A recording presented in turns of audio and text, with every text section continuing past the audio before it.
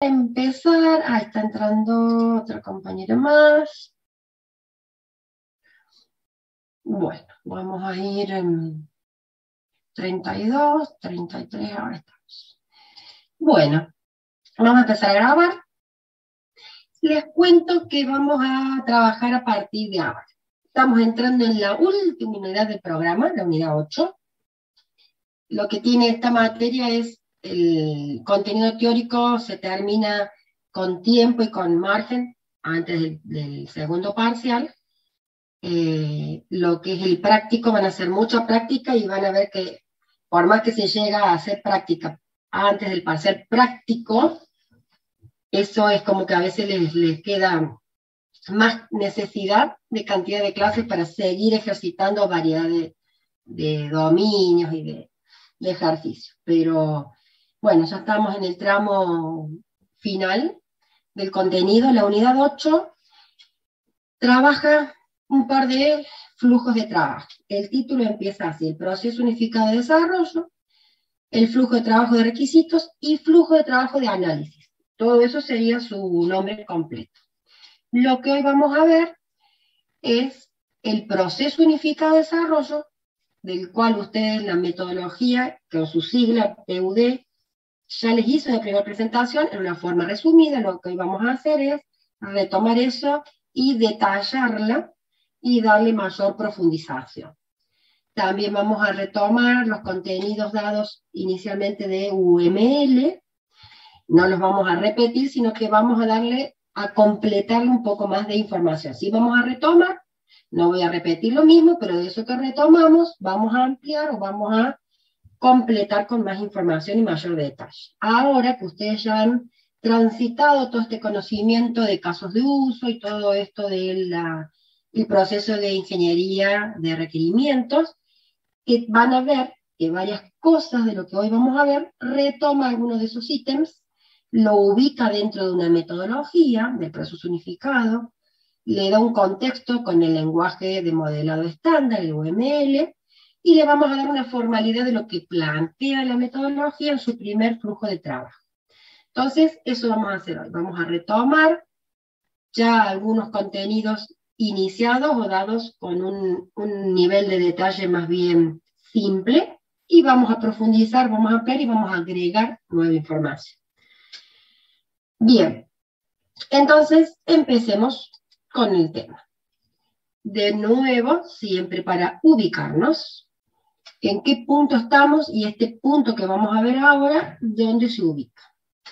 Nosotros para poder desarrollar una propuesta de sistema siempre tenemos que conocer el negocio, por eso hemos hecho el modelado de procesos de negocio, y en ese pensar el sistema y en esa propuesta, nosotros debemos siempre estar como equipo de trabajo organizados con un proceso de desarrollo, con un marco de trabajo. Justamente ahí es donde se ubica el proceso unificado de desarrollo que hoy vamos a retomar. En su momento vimos distintos ciclos de vida o distintos procesos de desarrollo dentro de los prescriptivos y dentro de las corrientes de lo que son procesos ágiles. Y puntualmente vimos el proceso unificado de desarrollo como uno de los procesos que actualmente se están utilizando y vimos metodologías ágiles, la generalidad de lo que comprende. ¿Qué vamos a hacer ahora? Vamos a profundizar en ese proceso unificado, vamos a ver cómo se integra nuevamente con lo que es UML, que en su momento se los presenté, para que les vaya quedando claro, ahora que conocen más modelos, que han visto más diagramas y que han avanzado con todo el proceso de ingeniería de requerimientos, su conocimiento de qué significa, los pasos, y por otro lado están haciendo la práctica de todo este proceso de ingeniería de requerimientos. Entonces, vamos a ver cómo este proceso de ingeniería de requerimientos se encuadra dentro de un proceso unificado desarrollo. ¿sí? Entonces, por eso les digo que lo que vamos a ver hoy retoma mucho de todo lo que hemos visto durante todo este año y lo va a encuadrar dentro de un marco de trabajo o una metodología en particular. ¿sí? Seguimos trabajando dentro de este proceso unificado con UML en todo lo que considera la filosofía y el paradigma orientado a objetos. ¿sí? Bien, Entonces, empecemos con recordar algunos conceptos y ahí vamos a ir profundizando. ¿Qué era o cómo vimos y qué se definió del proceso unificado de desarrollo de software? La idea es, siempre, van a tener que recordar, es un proceso, un proceso de desarrollo. Los términos eso los vimos allá por la unidad 2, cuando vimos las 4P, proceso, proyecto, producto y persona. De allí se inició este concepto de proceso. Siempre recuerden, proceso de desarrollo. Estamos hablando de software, ¿no? No lo confundamos con el proceso de negocio. Cuando vimos el proceso de desarrollo, ¿cuál es eh, lo que dio las bases y qué consideramos? Un proceso de desarrollo nos va a ayudar a nosotros como equipo de sistemas para tener definido el conjunto de actividades para llevar a cabo el desarrollo de un sistema o de un producto. ¿sí? Entonces, empecemos a recordar algunas cuestiones. Cuando se trabaja en la construcción de un producto o sistema, es importante ejecutar una serie de pasos predecibles. Es importante estar organizados y saber cómo debemos trabajar para optimizar tiempo, recursos, costos y todo el esfuerzo, ¿sí? Entonces, ese proceso unificado es como un mapa de carretera, ¿sí? un mapa que me va guiando y que nos ayuda como equipo a obtener un resultado en el tiempo acordado y con una alta calidad. ¿sí? Entonces, el proceso unificado es como que nos va a delimitar, nos va a servir como mapa para desarrollar y ejecutar todas las tareas en este proceso de software. ¿sí?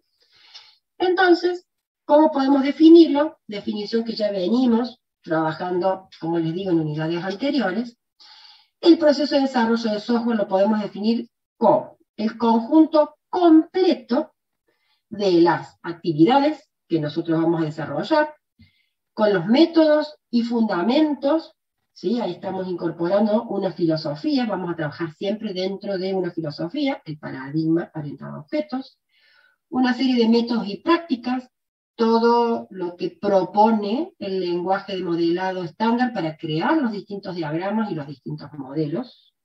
¿Y todo eso para qué? Va a ser necesario para transformar los requisitos de un usuario, todo esto que son los requerimientos, en un conjunto consistente de artefactos que conforman un producto de software. Recuerden el término artefacto, también lo fuimos presentando hace un tiempo, que tiene que ver con todos los resultados que se logran luego de la ejecución de un proceso.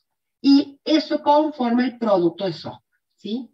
Gráficamente, entonces, tenemos siempre capturar estos requisitos del usuario, esa captura de requisitos con esta tarea de licitación, incorporarlo y ejecutar el conjunto de actividades para lograr este proceso de desarrollo, aplicar todas las técnicas y los métodos, construir modelos, dentro de un paradigma, ejecutar las actividades y lograr un resultado. Ese resultado es el producto, que es el sistema de software. ¿sí?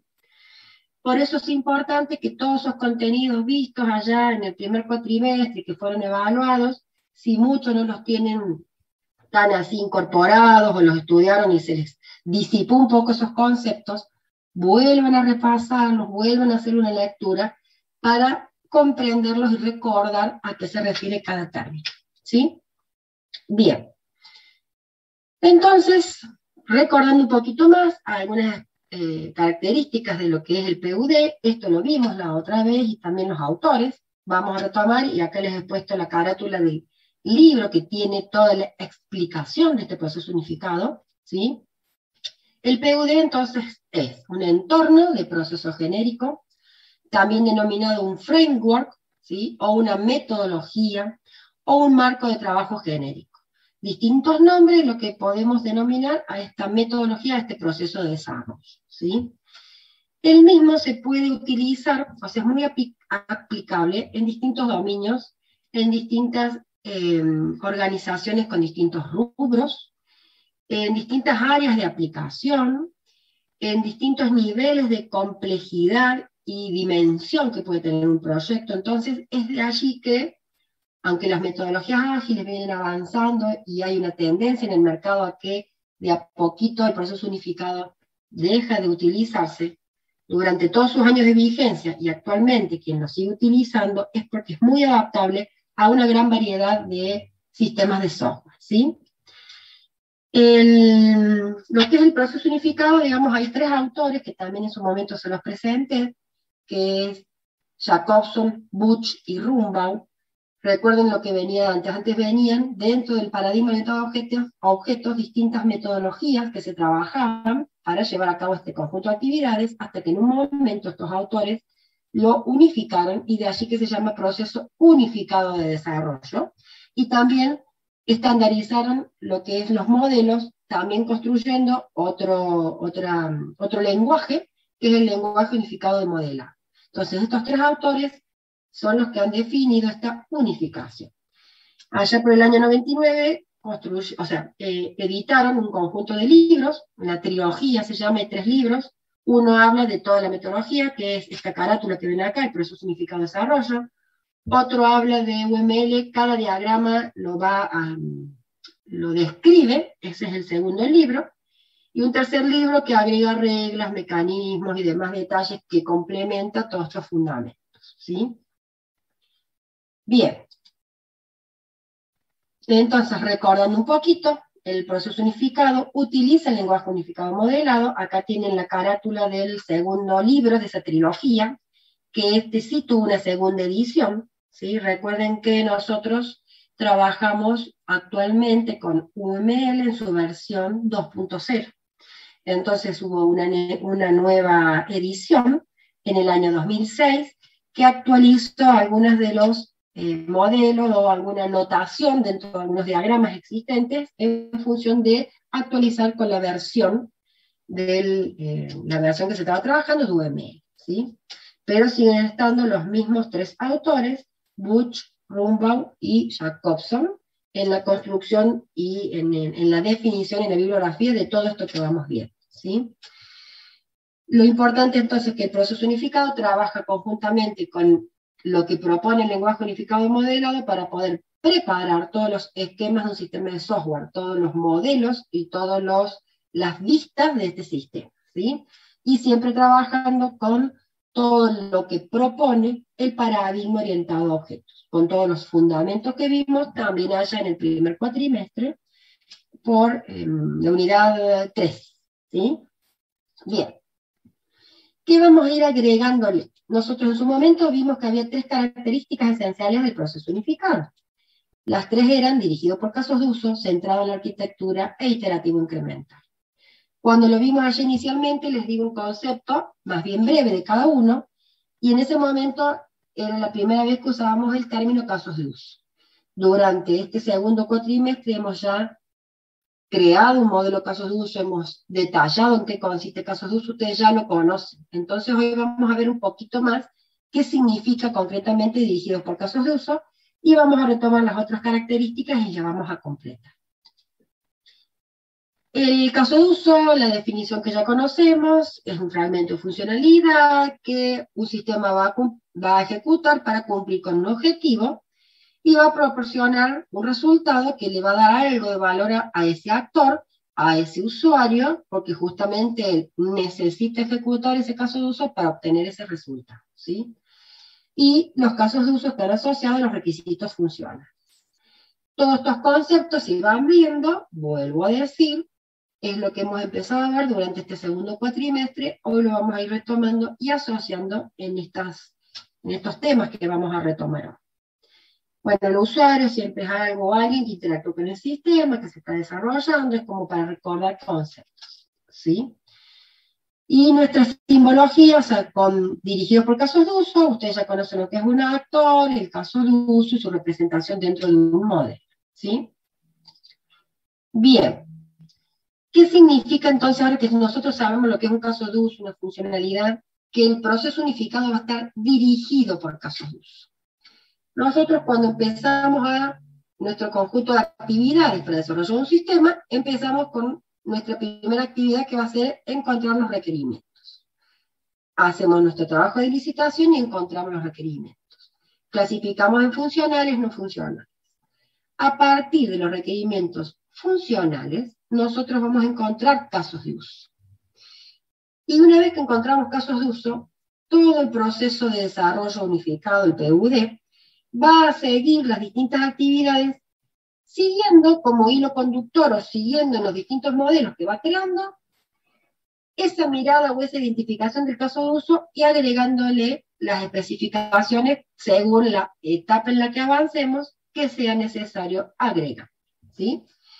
Entonces, dirigido por casos de uso quiere decir que el proceso de desarrollo sigue un hilo conductor, avanza a través de una serie de flujos de trabajo, recuerden que ya vimos los flujos de trabajo, y los vamos a recordar, que parten desde la identificación de los casos de uso, y una vez que los identificamos y que hacemos este trabajo de licitación y detectamos los requerimientos y los especificamos, luego de esa especificación vamos a hacerle todos los aspectos de análisis y diseño propiamente, lo de implementación o construcción y las pruebas. ¿sí? Entonces, partimos de identificar casos de uso y en los siguientes flujos de trabajo o etapas de actividades que vamos a avanzar, vamos a ir a partir de ese caso de uso agregándole algo más, definiendo algo más. ¿sí?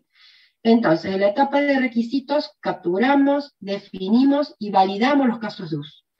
Si ven, todo esto que acabo de decir es todo este proceso de ingeniería de requerimientos.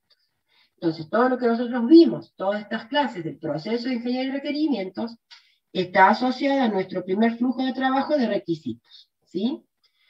Luego viene, a partir de esos casos de uso identificados, un trabajo de análisis y diseño un trabajo de implementación, que eso se llama la realización de casos de uso o realizar los casos de uso.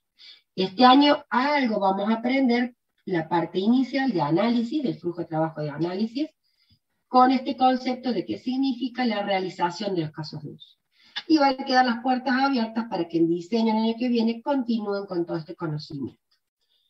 Y termina este proceso con las pruebas en donde a partir del caso de uso, yo voy a poder crear distintos escenarios de prueba para poder verificar el sistema. ¿sí? Acá recuerden, ven, usen el término validar los requerimientos y acá es verificar el sistema. Términos que vimos en la clase pasada. Por eso se dice que los casos de uso guían todo el proceso de desarrollo del software. ¿Sí? Bien. ¿Cuál es la segunda característica? que está centrado en la arquitectura. En su momento también tuvimos una primera noción, ahora que conocemos más cosas, por allí van ustedes cerrando mejor las ideas. La palabra arquitectura siempre lo llevamos un poquito a este concepto de la arquitectura en la construcción de algún inmueble, de una casa, un edificio. ¿Qué hace la arquitectura? Va definiendo, aparte de los pasos para esa construcción, va definiendo distintos planos con los distintos planos va dando las distintas miradas que esa construcción necesita. Entonces habrá un plano con toda la instalación eléctrica, habrá un plano con toda la estructura, habrá un plano con el diseño, cómo se va a ver finalmente, habrá otro plano de toda la parte de instalación eh, de, los caños de agua y demás, una parte de, de gas, de todo el plano de gas. De la misma forma, nosotros en sistemas en las partes de sistemas informáticos, vamos a tener que crear modelos que nos muestren distintas vistas o miradas del sistema. Cada uno muestra algo. En conjunto va a mostrar distintos aspectos estáticos y dinámicos que sean significativos para que yo lo pueda construir al sistema. ¿sí? Por un lado, tengo los casos de uso que trabajan toda la cuestión funcional, y por otro lado tengo con la arquitectura del software las distintas vistas del sistema que me van a mostrar aspectos de la plataforma, de los componentes, de los nodos, para luego que puedan ser implementados, de conexiones de red, consideraciones de implementación, aspectos de los requerimientos no funcionales que deban ser modelados en todo esto. De esta forma, entonces, yo tengo los casos de uso y la parte funcional y la arquitectura con las distintas miradas y vistas que de alguna forma me va a construir los distintos planos del software, ¿sí? Entonces, esa es la segunda característica del proceso unificado, centrado en la arquitectura, ¿sí? Entonces, si ven, de alguna forma, casos de uso y arquitectura se complementan y evolucionan en paralelo. Cuando nosotros desarrollemos un sistema y ejecutemos el conjunto de actividades, vamos a ir teniendo distintos modelos, distintas acciones que realizamos con estos dos ejes, los casos de uso y la arquitectura del sistema. ¿sí? Entonces, en este proceso unificado, la arquitectura va a trabajar con lo que es la forma del sistema y los casos de uso van a trabajar con lo que es la función del sistema, pues son los funcionales.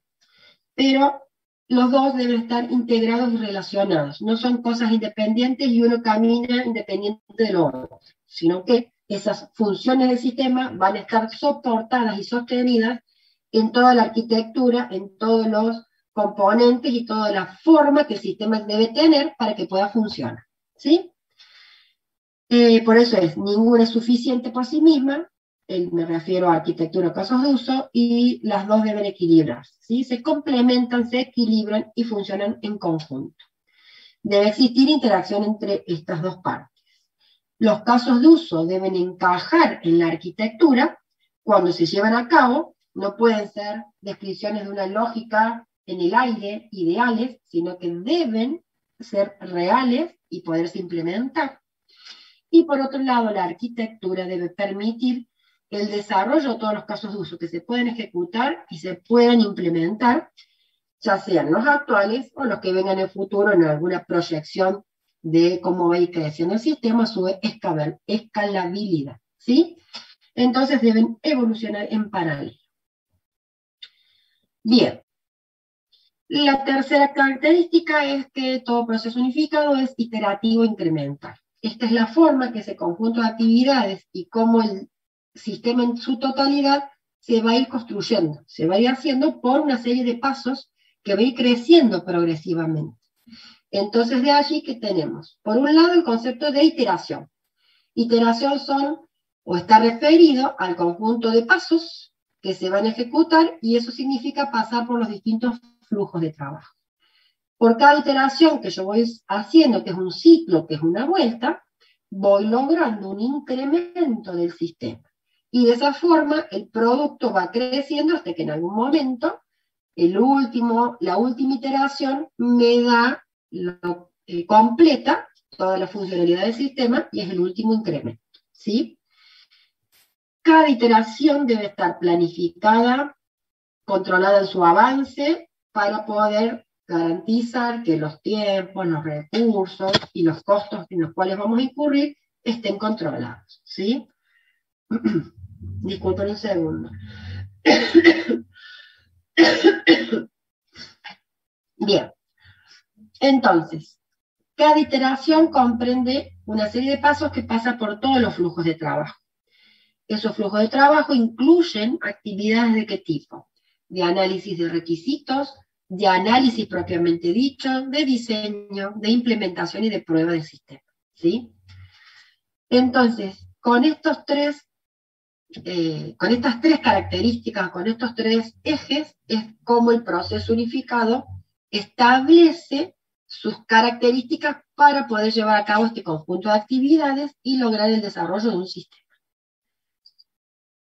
Eh, esto lo habíamos visto, lo retomo hoy para que vayamos recordando el ciclo de vida del proceso unificado va a presentar un esquema o un diagrama en donde tiene, por un lado, cuatro grandes columnas que lo llamamos las fases de este ciclo de vida, ¿sí? que se llaman inicio, elaboración, construcción y transición.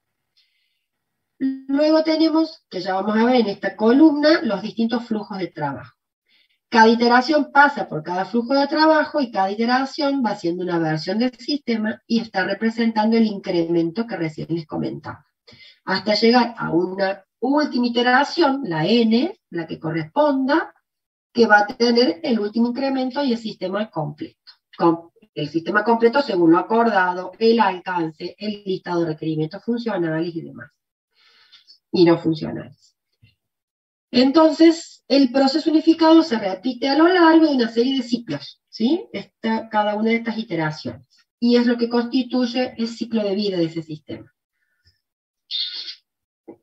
en su momento les di los nombres de las cuatro fases, ahora vamos a, ver qué comprende cada una. Eso es lo que yo les digo que vamos a ampliar o detallar alguna mayor información. ¿sí?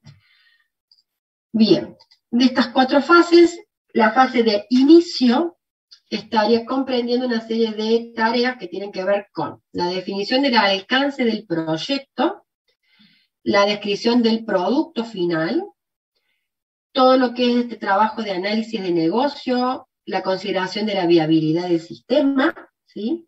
Y acá determinamos los requerimientos funcionales, las principales funciones del sistema y los no funcionales, la arquitectura del sistema que va a considerar, más otros aspectos que tienen que ver con la implementación y consideraciones para esa arquitectura. También se considera todo lo que es el plan del proyecto, justamente diagrama de, suele ser un diagrama de Gantt, una serie de tareas con tiempos estimados y un presupuesto que acompaña a toda esa definición. ¿sí?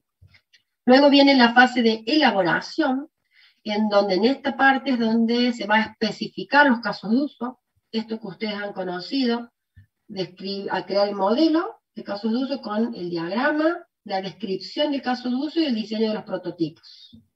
Y además de eso, también se va a hacer el diseño de la arquitectura con distintas vistas arquitectónicas y el uso de todo lo que propone UML para la creación de los distintos modelos.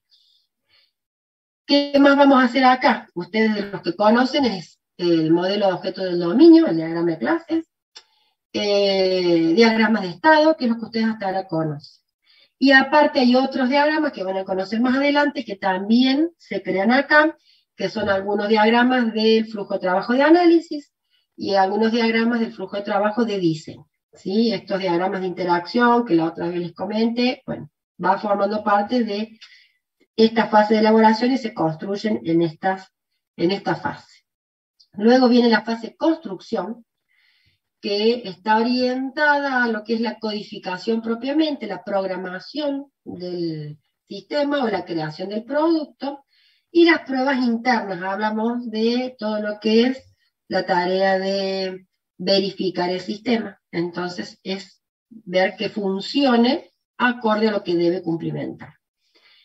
Y luego la fase de transición, ¿sí? Es como la última, en donde ya se empieza a instalar el producto en una versión beta, se le llama inicialmente, y luego va a terminar con el último incremento, con, incremento, con el sistema instalado y un tiempo de prueba por parte de estos futuros usuarios, en donde ya lo van a ejecutar en su negocio, en su espacio de trabajo, y un tiempo de ajuste para que el sistema se adapte y funcione correctamente según esas necesidades. ¿sí? Eso de instalar el sistema y ese mantenimiento y cierre es todo lo que se llama el despliegue, ¿sí? es la integración y el despliegue. El despliegue de un sistema, la puesta en producción también se llama, cuando se lo instala en forma completa y ejecuta las funciones del mismo. Bien, esas son las fases. Estamos todavía en el ciclo de vida del proceso unificado. Era esta primera parte que tienen acá arriba. Se completa con el flujo de trabajo, que eran cinco, que estos también en su momento se los presenté, y este diagrama también, el flujo de, requisitos, de análisis, de diseño, de implementación y de prueba.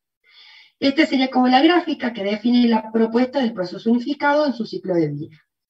Y esta forma en que están dibujadas estas proporciones es un poquito la combinación de cada una de las fases en relación a cada uno de los flujos de requisitos, donde tiene mayor tiempo de esfuerzo, de tiempo de trabajo y de actividad, y cómo va disminuyendo conforme se avance en las fases o en las iteraciones. ¿sí?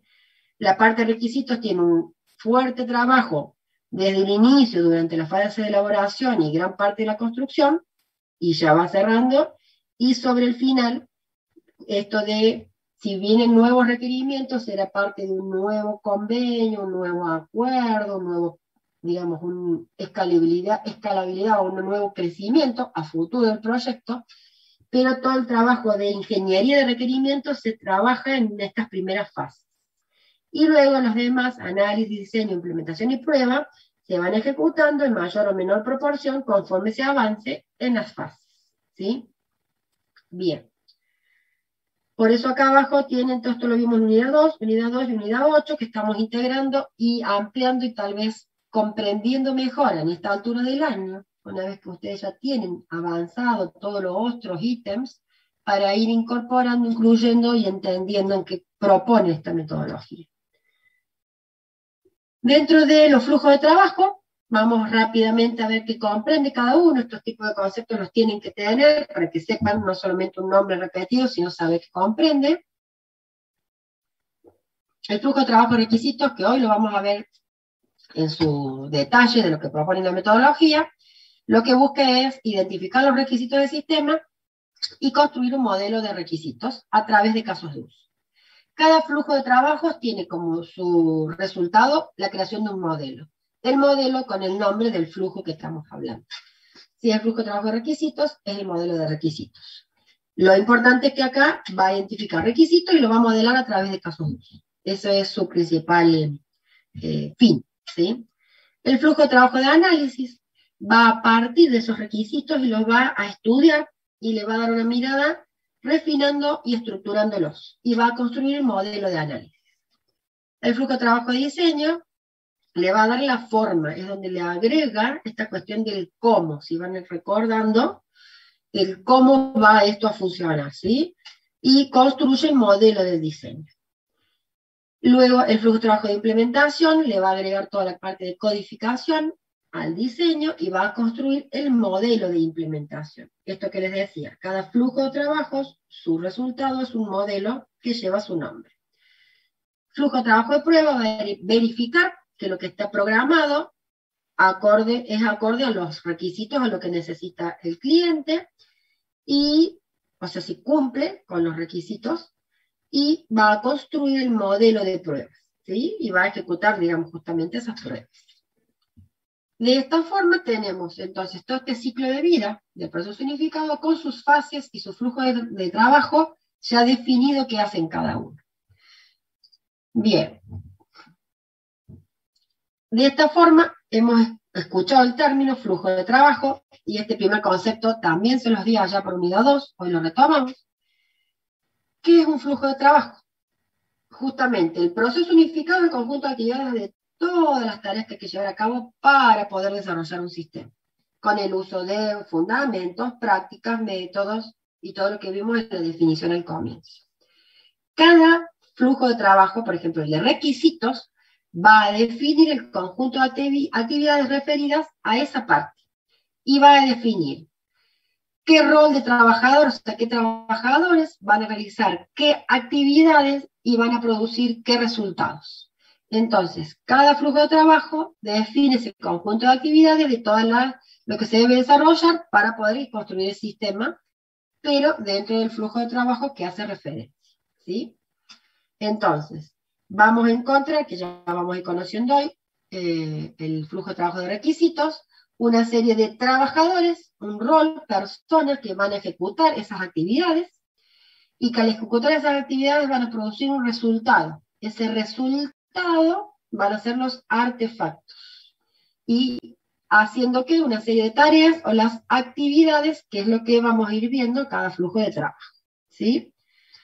Entonces, las actividades va a ser esa tarea que van a ejecutar y el artefacto va a ser ese resultado que concretamente va a ser una especificación, un modelo, un diagrama, algo concreto que es el resultado de que ese trabajador ejecute esa actividad dentro de un flujo de trabajo. Bien.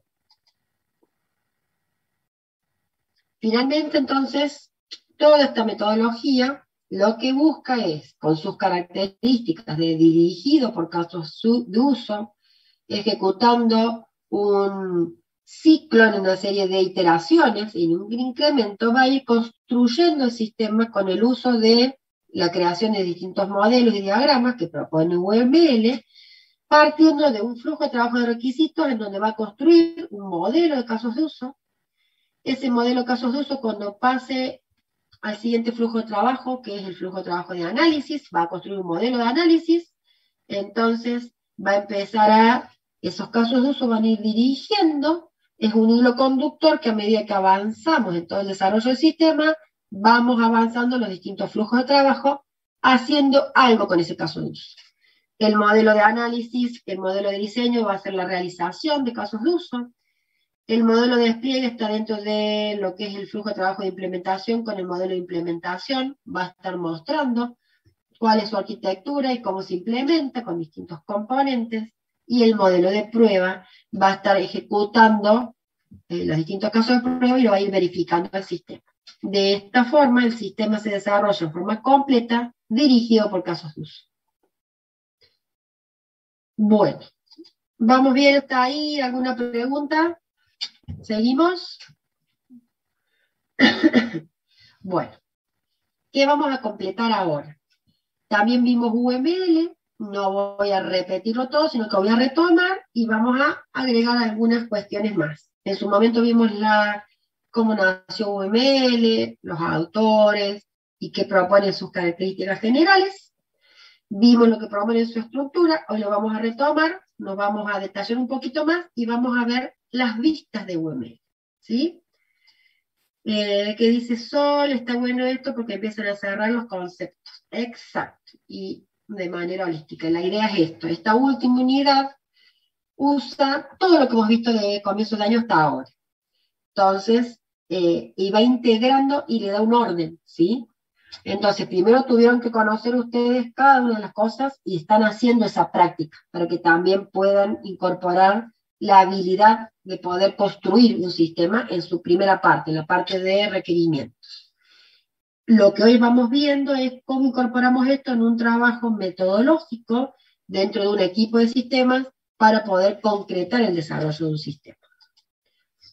Bien, eh, ¿Qué es UML? Esto lo hemos visto, acá rápidamente para repasar. Es el lenguaje unificado modelado, que lo que nos propone es un lenguaje estándar para poder escribir esos planos de software, ¿sí? Eh, como es un lenguaje, justamente proporciona un vocabulario, una serie de reglas unificadas para que todos, cuando usemos esa simbología y esa notación unificada, podamos leer y podamos comunicarnos en el mismo idioma, ¿sí? Y estamos siempre trabajando en su versión 2.0, ¿sí? Bien. La estructura de UML, esto lo habíamos visto,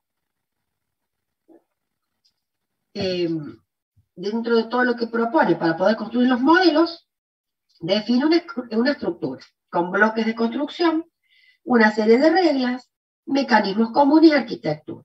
Este cuadro lo habíamos visto en su momento, y propone una serie de, dentro de esos bloques de construcción, de todos los elementos posibles que se pueden utilizar dentro de cualquier diagrama, y en función de cuál diagrama utilizará alguno de esos elementos, las relaciones que se pueden llegar a presentar y los diagramas propiamente.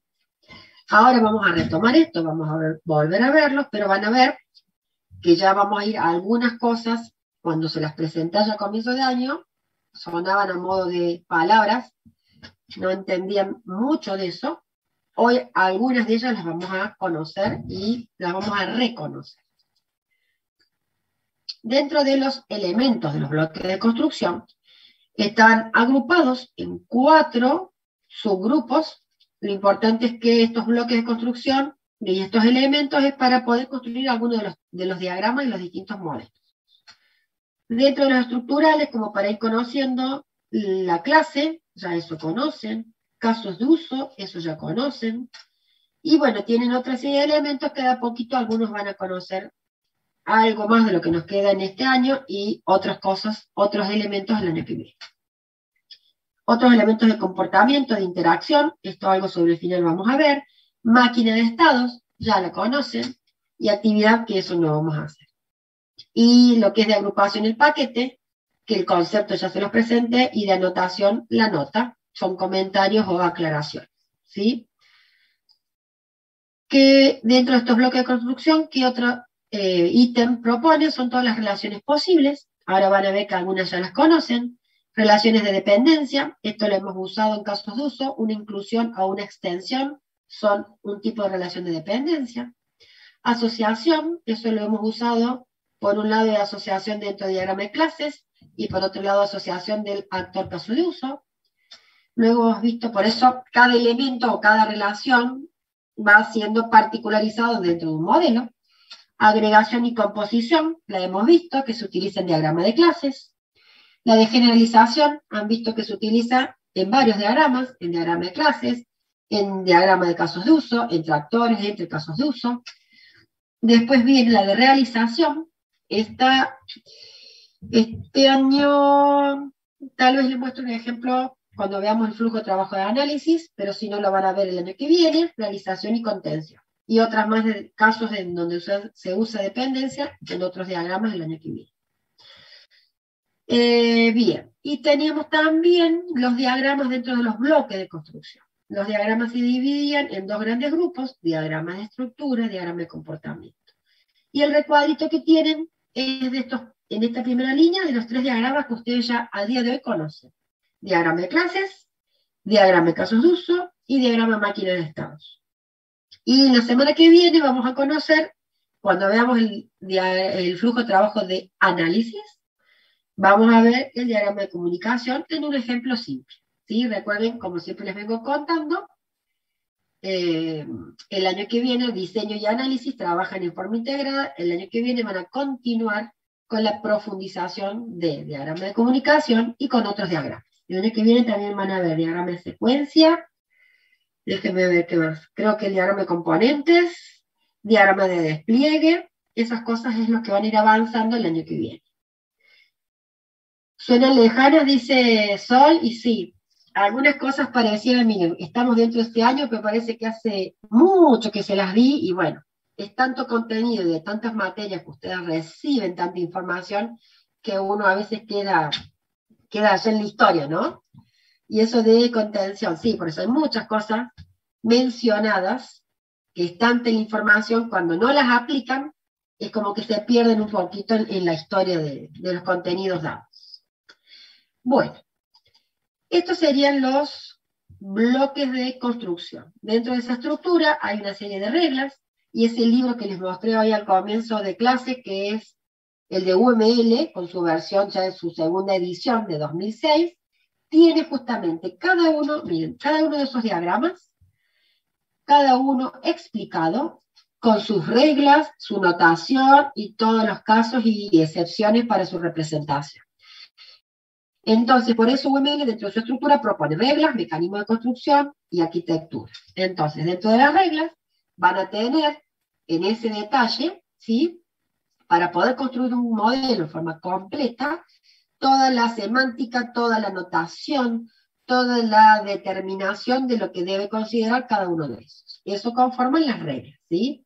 Entonces, dentro de esas reglas semánticas van a tener el nombre de a los elementos, relaciones y diagramas, el alcance de ese, modelo, la visibilidad, integración y ejecución. O sea, hay todo un libro que explica eso.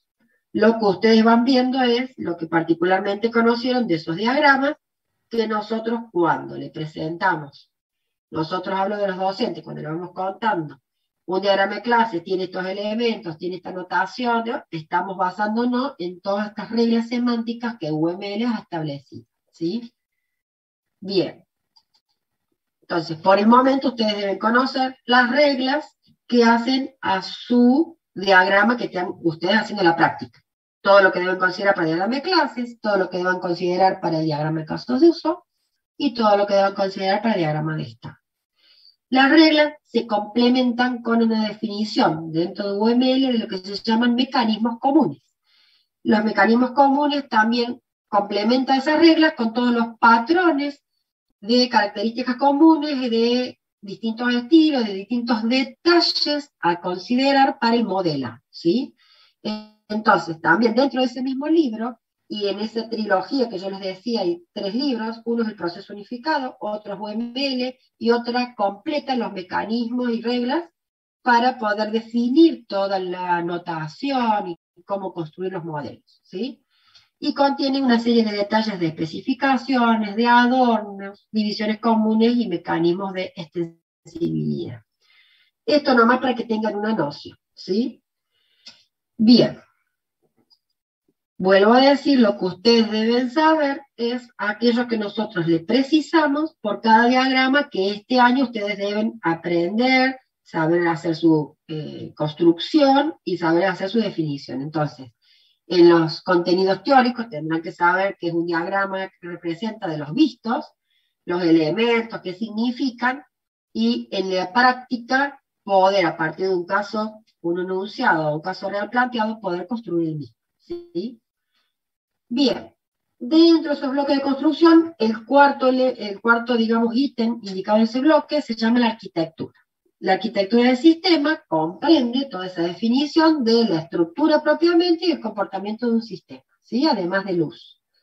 Entonces, con la arquitectura vamos a también definir todos aquellos aspectos que hagan a implementación, consideraciones de restricción, económicas, tecnológicas, aspectos estéticos, más bien todo aquello que va considerando el, le veíamos al comienzo, dirigido por casos de uso y centrado en la arquitectura. La arquitectura va a definir la forma de este sistema con las distintas vistas, ¿sí?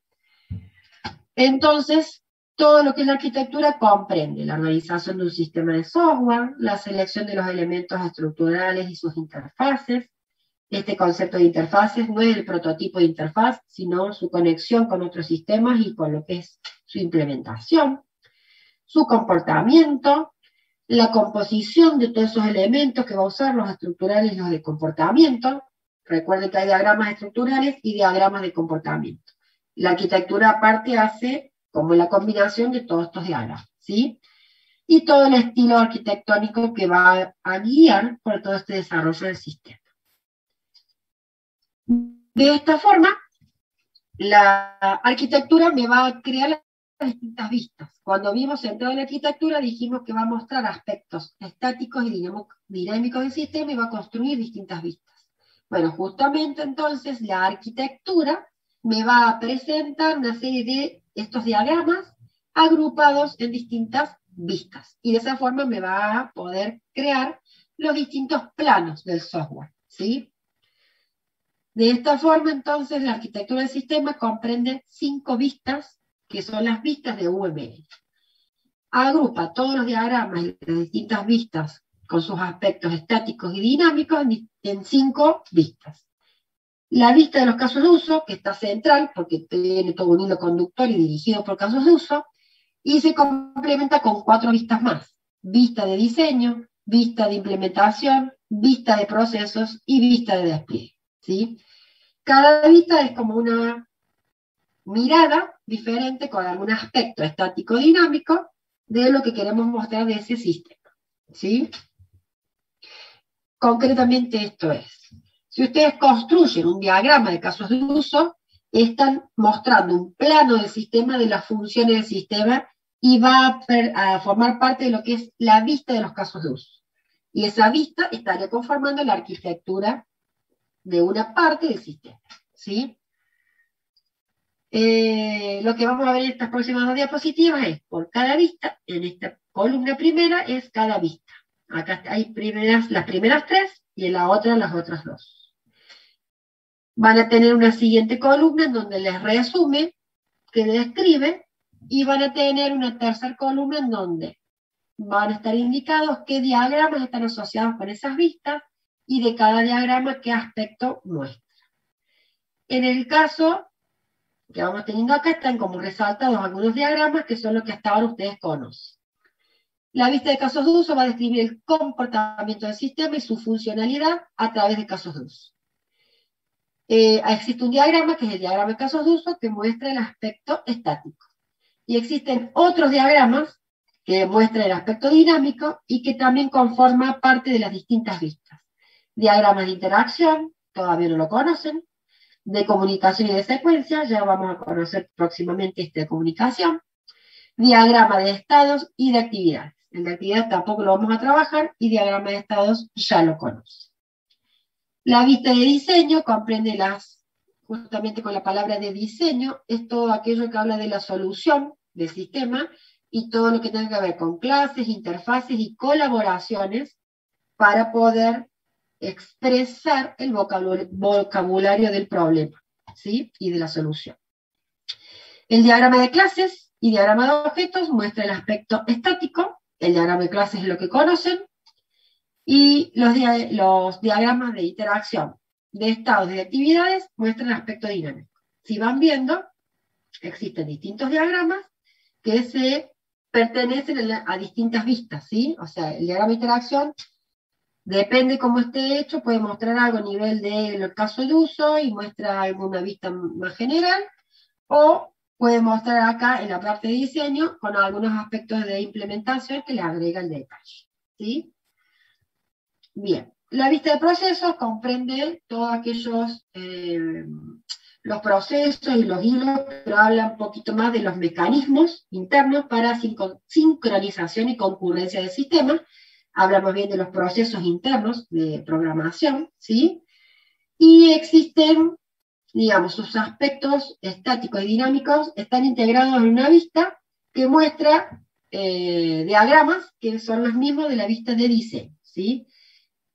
Esto un poco hoy les queda en forma teórica y no se preocupen, tampoco me lo van a tener que repetir como memoria. Esto les va a bajar un poquito los contenidos cuando el año que viene avancen en diseño y vean algo más y vean lo que son las clases activas y vean otros contenidos para entender qué hacen en esta vista. Y nos quedan dos vistas más, las vistas de implementación, también esto hoy les va a quedar a modo de referencia, pero no vamos a profundizar más porque se trabaja el año que viene. Eh, lo que es vista de implementación habla de la parte de componentes, codificación, ensambles y todo lo que venga con el sistema físico. Hay un diagrama que van a conocer el año que viene, diagrama de componentes, así que por eso este año eh, eso muestra el aspecto estático. Y tenemos el, en los aspectos dinámicos, nuevamente, y si van viendo, para las cinco vistas, el aspecto dinámico son los mismos tres diagramas que se pueden utilizar, ¿sí? Y la vista de despliegue, el despliegue les decía un poquito es cómo se va a implementar el sistema, entonces van a construir allí, o va a modelar todos los nodos que conforman todos los, la topología de hardware, ¿sí? En qué componente, en qué servidor va a funcionar cada proceso, ya tiene que ver con la implementación en el ambiente del cliente y cómo va a ejecutar el sistema. Tampoco vamos a trabajarlo este año, solo es para que vayan conociendo hacia dónde va y todo lo que significa construir un sistema en forma completa. Eh, tienen el diagrama de despliegue, muestra el aspecto estático, esto también lo van a conocer el año que viene. Y también los mismos diagramas para mostrar el aspecto dinámico. Con todo esto estamos completando dentro de UML, aparte de todo lo que se llaman los bloques de construcción, eh, de toda su estructura, digamos que son los bloques de construcción, la parte de reglas, mecanismos y arquitectura, con la arquitectura, las distintas vistas y las distintas diagramas que nos van a mostrar distintas partes de un sistema. Algunos conocen, pocos hasta ahora, pero es parte normal de lo que es esta materia, hasta dónde deben conocer, y van a seguir avanzando en toda esta construcción. Bien, estamos acá, hasta ahí llegamos en la primera parte de la clase. Lo que vamos a ver ahora, a continuación, después de un descansito, vamos a empezar con el primer flujo de trabajo requisitos. Y hoy vamos a conocer de este flujo de trabajo cuáles son las actividades, los trabajadores y los artefactos que la metodología propone que se desarrollen. Luego del recreo vamos a ver eso, pero cuando vayan viendo lo que vamos desarrollando, vamos también hoy a retomar conceptos ya vistos. Es como que hoy no va a ser un concepto nuevo, sino que le estamos dando un encuadre y una ubicación dentro de una metodología a las distintas cosas que van ido aprendiendo hasta ahora en la parte de especificación. Bien, ¿alguno tiene alguna pregunta? Si no, vamos al retiro. ¿Estamos bien? Bueno, muy bien. Diga, yo tengo mi celular. Bueno, hacemos acá 10 minutos, 11 y 32 tengo. Volvemos acá en 10 minutos Descansen un rato ustedes, yo también me descanso un poquito mi garganta y nos vemos en 10 minutitos.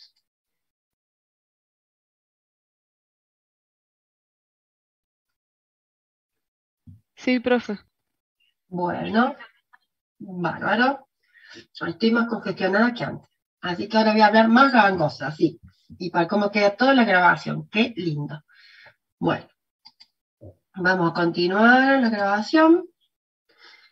Bien, ¿qué vamos a ver entonces en lo que nos queda la clase de ahora? Es todo lo que propone el primer flujo de trabajo de la metodología del proceso unificado. ¿sí? Así que vamos a ver el flujo de trabajo de requisitos. Y también se llama captura de requisitos, que es la unidad que tienen en el libro del proceso unificado, se llama captura de requisitos. Bien.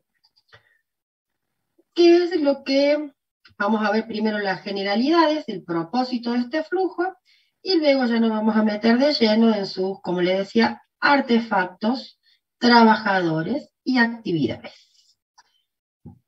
Este, digamos, este flujo tiene como principal objetivo o su propósito fundamental es detectar los requisitos y guiar el desarrollo de todo hacia el sistema correcto, ¿sí? Entonces, por eso está subrayado, es guiar el desarrollo completo. ¿Por qué? Porque en este flujo nosotros vamos a identificar esos requisitos y vamos a identificar los casos de uso.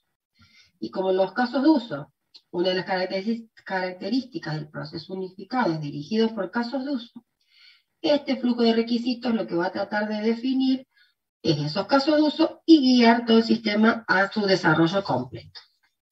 La idea es que en este flujo se logre una descripción que sea completa, que sea suficiente y que especifique todos esos requisitos.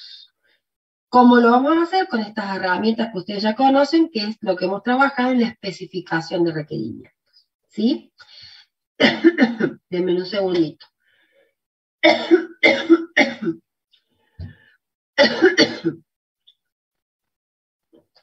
Bien de alguna forma, en esta descripción de lo que debe hacer el sistema, justamente, fíjense acá abajo, va a definir el qué debe hacer el sistema y no va a definir el cómo, ¿sí? Y en este qué debe hacer también va a dejar este alcance de qué cosas van a estar contempladas en ese alcance y qué va a quedar fuera, ¿sí? Por eso es lo que dice abajo, lo que no debe hacer el sistema. ¿sí? Entonces, es una descripción completa que va a cubrir todos los requerimientos y los va a especificar. Bien. Tenemos un poquito más para completar dentro de lo que son los pasos del flujo de trabajo de requisitos. Y si ven los pasos, ahora que se los voy a mencionar, es lo que hemos trabajado en la especificación. Dentro de este flujo, para poder llevar a cabo todas las tareas, hay una serie de pasos que tienen que ver con enumerar los requisitos candidatos, que ya lo vimos, comprender el contexto del sistema, en esa comprensión crear el modelo de negocio si es necesario y crear el diagrama de clases. Y luego tenemos en contra requisitos funcionales y no funcionales. Todo lo que hemos visto en esta especificación de requerimientos, luego encontrar casos de uso, luego modelar esos casos de uso con un diagrama, una descripción y prototipo. Y en el caso de no funcionales, la identificación y descripción de esos requerimientos no funcionales. ¿sí? De allí que les decía que, por ejemplo, estos pasos flujo de trabajo de requisitos no son cosas nuevas o diferentes, sino que estamos integrando dentro de una metodología todos estos puntos vistos hasta el momento. ¿Eso qué significa? Cuando nosotros hagamos esta tarea del proceso de ingeniería de requerimientos, siempre que nosotros encaremos un sistema, tenemos que encontrar qué necesita cubrir ese sistema. Ahora el término son requerimientos. Y a esos requerimientos los clasificamos en funcionales no funcionales. Pero siempre para poder iniciar el desarrollo de un sistema hay un trabajo de proceso de ingeniería de requerimientos. Encontrar y descubrir qué necesita el cliente, qué necesita ese negocio, y a partir de ahí construir un modelo que cubre esos requerimientos. En la primera parte, en lo que es el flujo de trabajo de requisitos, va a ser esa descripción de aquello que es lo funcional, ¿sí? y la determinación de la estructura de datos, del comportamiento del sistema, el qué debe hacer el sistema. Y luego los distintos flujos que siguen, le iremos agregando otras características que le van completando la definición al sistema, a la propuesta o la codificación o lo que cada uno le corresponde. Bien. De alguna forma, bueno, acá tienen resumido todo lo que vimos, vuelvo a decir, hay cosas que las que ya están vistas, no las voy a volver a repetir, solamente referenciar para que le demos una conexión, ¿sí? Pero acá tendríamos esos cuatro pasos, incluidos acá con lo que ya vimos. ¿Qué vamos a ver a partir de ahora? Que esto sí es lo que metodológicamente agrega. ¿Cuáles son los trabajadores? ¿Qué actividades realizan? y qué artefactos producen para este flujo de requisitos. ¿sí? Y esto que lo que va a tener es como un ordenamiento de la metodología del proceso unificado de desarrollo para ejecutar todas estas tareas que incluye este flujo de trabajo de requisitos. Divide o reconoce cuatro roles para los trabajadores que van a participar en este flujo de trabajo lo que denominan los analistas de sistema, el arquitecto, el especificador de casos de uso y el diseñador de interfaz de usuario. Esto, como es una metodología, propone como los roles que las distintas personas que participan en el desarrollo de un sistema tendrían que asumir. Después, en la realidad, puede ser que una persona ejecute uno, dos o los cuatro roles en forma completa. ¿sí? Todo dependerá la dimensión del proyecto, la cantidad de personas que participan y quién asume cada uno de estos roles. ¿sí? Bueno, para esos trabajadores, que son estos cuatro, define una serie de actividades y en función de cuál es el trabajador, ubica la actividad que le corresponde. Todo proceso, digamos, de desarrollo del sistema empieza con una primera actividad que es encontrar actores y casos de uso. Enseguida vamos a trabajar cada una de estas actividades y las vamos a desglosar. Una vez que encontramos actores y casos de uso, priorizamos los casos de uso, con cuáles empezamos primero y con cuáles continuamos en posterior. Una vez que tenemos esa priorización, empezamos a detallar un caso de uso, que serían estas descripciones que hemos aprendido, completamos la descripción con el prototipar la interfaz de usuario, y vamos en paralelo estructurando el modelo de casos de uso. ¿sí? Vamos a ver enseguida qué comprende cada una de estas actividades. Bien. Además de artefactos, además de trabajadores y actividades, le vamos a agregar los artefactos. El resultado de ejecutar esa actividad logra un producto, un artefacto. ¿sí? El analista del sistema, que era nuestro primer trabajador, tiene como el logro o los artefactos que produce, que denominados como el modelo de casos de uso, actor y glosario. El especificador de casos de uso es eh, responsable de los casos de uso, el diseñador de interfaz de usuario, de prototipo de interfaz de usuario, y el arquitecto de la descripción del arquitecto. Si van viendo, vuelvo a decir, no son conceptos nuevos, sino que es ordenados en una estructura de lo que propone la metodología, con qué personas ejecutando un rol como trabajador, ejecuta una serie de tareas, las actividades y produce un resultado, los artefactos. Vamos a ir ahora relacionando estos conceptos. El analista de sistema, como actividad primera, es encontrar actores y casos de uso, y como resultado o artefactos, habíamos, acabamos de decir, es el modelo de casos de uso, actor y glosario. Entonces, ¿qué van a ir encontrando acá? La actividad, el nombre. Encontrar actores y casos de uso. La acción de esto, y la palabra lo dice, la actividad, que no tiene mucha mayor explicación, es identificar los actores del sistema y las funcionalidades del mismo. ¿Qué es lo que vamos a aplicar acá? Que acá solamente les voy a dar los títulos y referencias.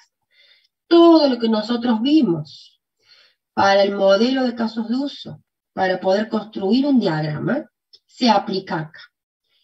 Vamos a ir encontrando actores, cuando vimos cuáles son los tipos de actores, cuál es la definición de actor, las relaciones entre actores, acá aplicamos todo eso.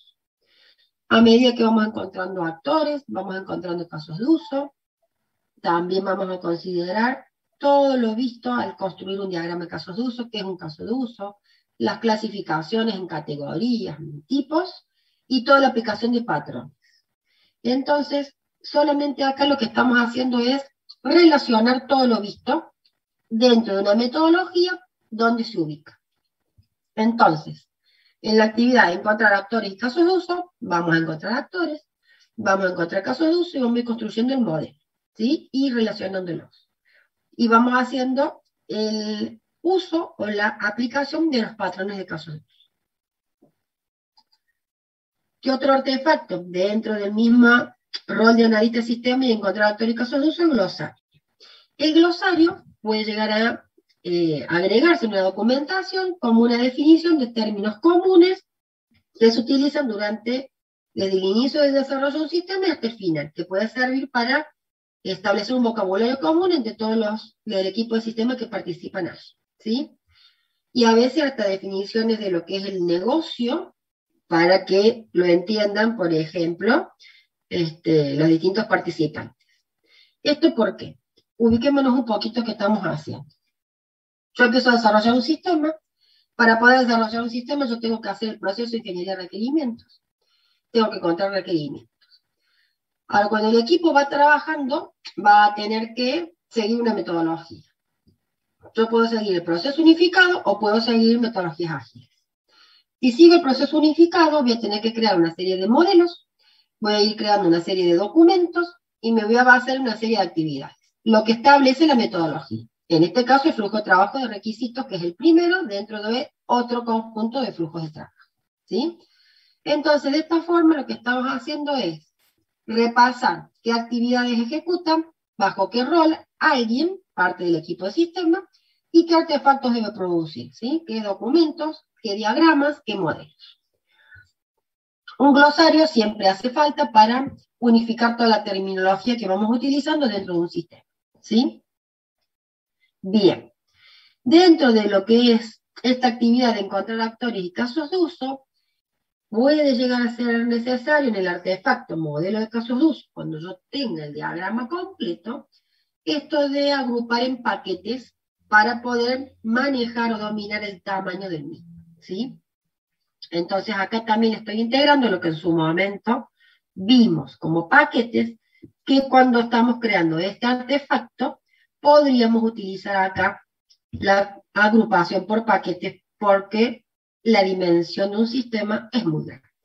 ¿Sí? Bien. Si seguimos entre los roles de los trabajadores y las actividades, el arquitecto que estaba en segundo lugar, como actividad tiene priorizar los casos de uso. Una vez que yo encontré actores y casos de uso, ¿con cuáles voy a empezar a trabajar primero? ¿Cuáles empiezo a describir primero? ¿Cuáles serían parte de mi primera iteración? Eso significa esta tarea de priorizar los casos de uso.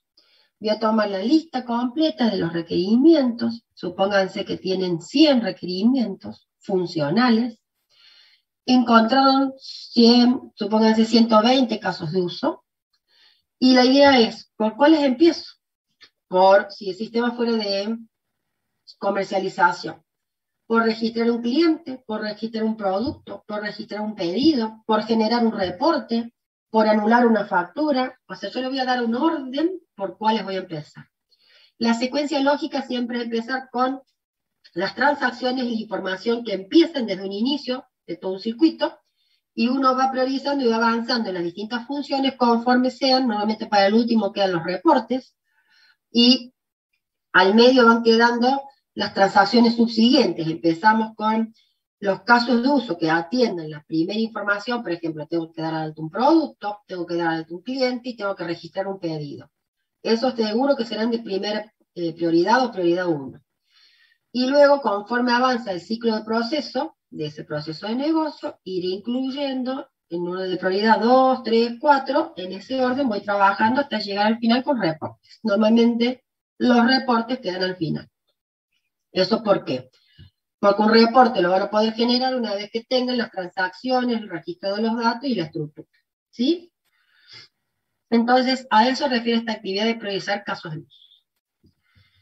Este mismo arquitecto, que es el mm, trabajador, el artefacto que produce es la descripción de la arquitectura, donde yo voy a tener una vista del modelo de casos de uso con los casos de uso significativos, ¿sí? justamente en respuesta o como resultado de esa priorización, en qué orden vamos a irlos trabajando.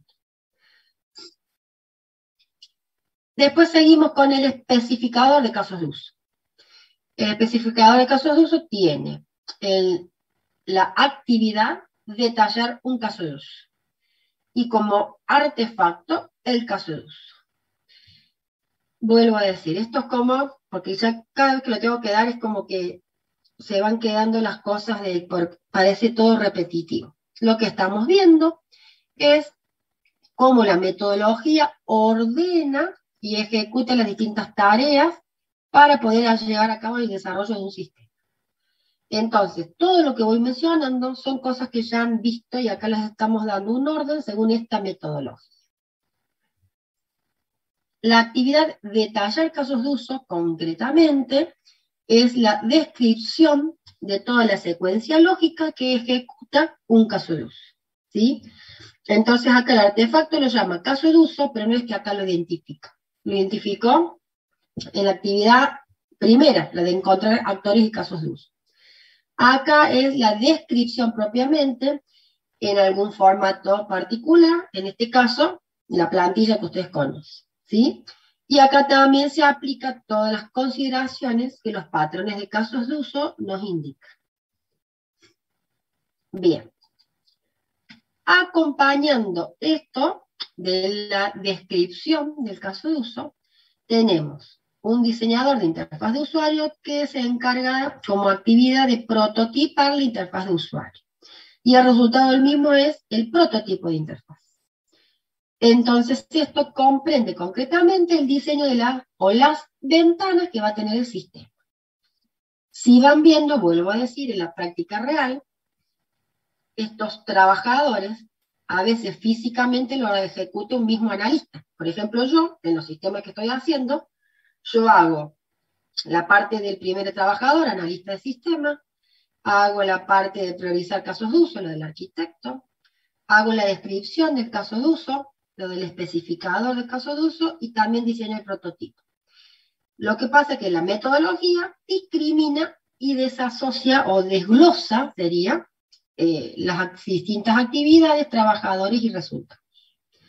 Pero concretamente esta actividad es el diseño de las interfaces con todo lo que hemos visto de las consideraciones para su diseño, ¿sí? Más la consistencia con todo el diagrama de casos de uso, el diagrama de clases y demás.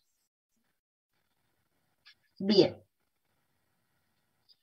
Dentro de esta actividad que estaba en la diapositiva anterior, está el artefacto prototipo de interfaz.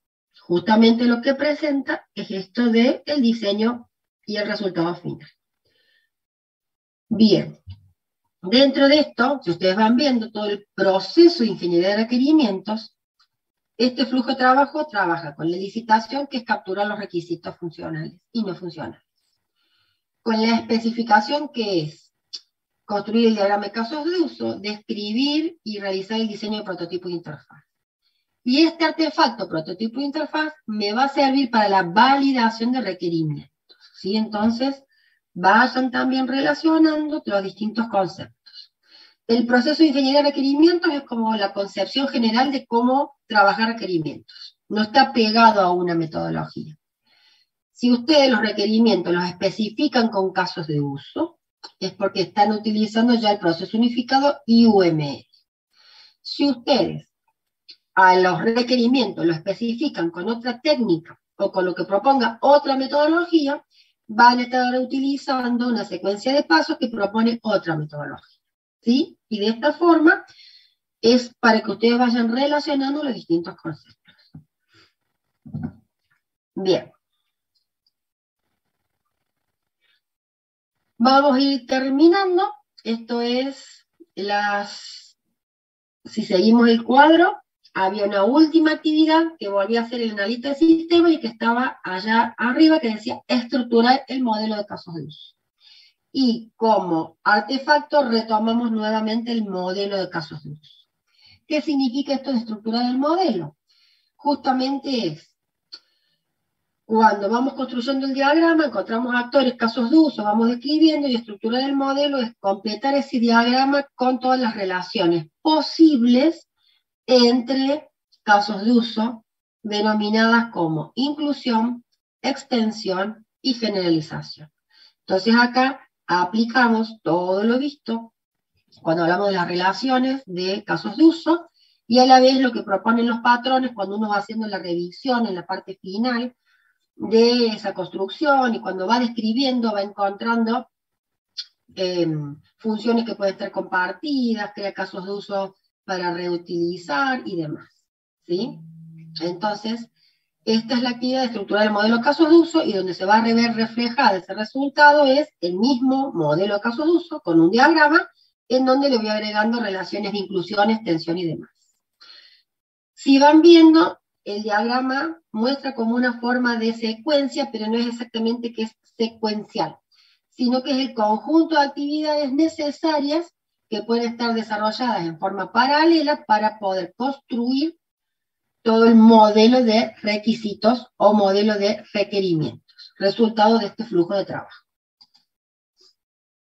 Entonces, integrando un poquito todo lo visto, y ya nos va quedando este poquito del final de la clase, el proceso unificado de desarrollo, que es lo que acabamos de ver al comienzo de la clase de hoy, con sus características todo lo que profundizamos, tiene el primer flujo de trabajo de requisitos y es lo que acabamos de ver. En ese flujo de trabajo propone el conjunto de trabajadores con las distintas actividades y los distintos artefactos que produce. En todo esto, para construcción de los distintos artefactos, utiliza todo lo que propone UML, el lenguaje unificado de modelo. Y va a utilizar la construcción de algunos diagramas que estén afectados por el flujo de trabajo de requisitos. Y ese diagrama corresponde a alguna de las vistas. En este caso, el resultado final de este flujo de requisitos es el modelo de casos de uso, que va a pertenecer a la vista de casos de uso. Y como sustento y complemento de lo que desarrollamos acá, vamos a tener también, que forma parte de la vista de diseño, un diagrama de clases que acompañe toda la estructura y comportamiento junto con el modelo de casos de uso, pero eso lo vamos a ver en la clase que viene porque ubica esta metodología al diagrama de clases dentro del flujo de trabajo de análisis. ¿sí? Por eso flujo de trabajo, requisitos, análisis, hay una parte que están bastante complementadas. Bien, esto es lo que quedaba para la clase de hoy, la última parte. A ver si había quedado algo más. No, está bien, ahí termino. Em, por eso ahora digamos que nos quedó un margencito de, horario. Tampoco tengo para darles un ejercicio más hoy, porque es los ejemplos dados, es lo que fuimos trabajando conforme trabajamos cada uno de estos ítems, cuando fuimos viendo en detalle, cuando vimos casos de uso, cuando vimos diagrama de clases y demás. Eh, ¿Qué nos queda para la siguiente clase? Vamos a seguir con lo que es el flujo de trabajo de análisis. Por eso no lo empiezo hoy, porque si no nos va a quedar medio corto. Eh, bueno, entonces hasta aquí la clase de hoy. Si hay alguna duda, queda un espacio para preguntas. Y si no, ya hoy hemos terminado y quedan liberados para la semana que viene.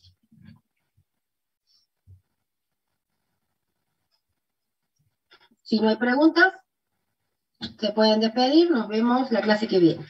Y si hay preguntas, me quedo un par de minutos más para lo que necesiten. Díganme. Bueno, a los que van saludando, buena semana, gracias, también para ustedes, suerte, que estén bien. Nos vemos, gracias Sol. Ay, sí, espero que sí, porque me tiene esta congestión y esta voz así terrible. Estén bien. Chao, chao, chicos. Suerte que viene.